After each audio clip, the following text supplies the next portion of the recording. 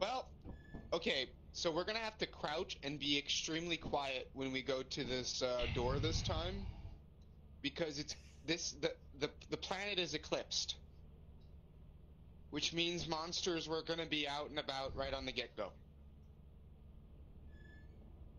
Um, Okay. why, why, why are we going to this planet? because I paid I paid a bunch of money for this planet, and this and it's a high risk, high reward.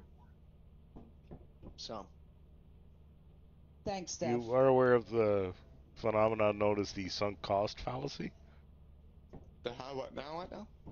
Money spent is already spent. If it's a bad idea to take advantage of it, it's still a bad idea. But Okay. No, no, no, it's fine, it's fine, it's fine, it's fine, no, it's no, fine. no, we, we know it's paid. Let's go. Let's go. We gotta check out the page. Hey man, I was the one that survived last time, at least until your mom didn't fucking step on the gas fire fast enough. Terrible. I got killed because there's a little girl that was haunting me. But anyways, now we gotta stop talking.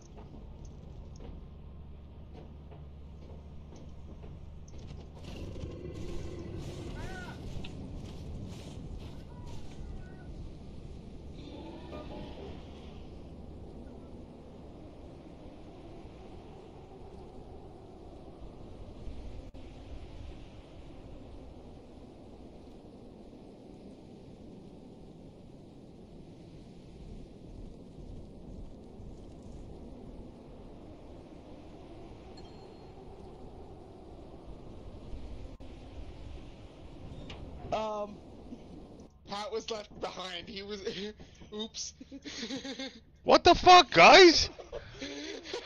we all died. Almost. Almost. I was fine. I was making my way to the thing. I was doing what I said. Shut up and crouch. And and for this, you left me behind. My dad started screaming. Yeah, we didn't know if you were dead or not. I didn't bother to look at the screen. I'm I was Because not- The thing, reached, Fuck. the thing reached in and grabbed Rob and killed him. We had to either we had to do something.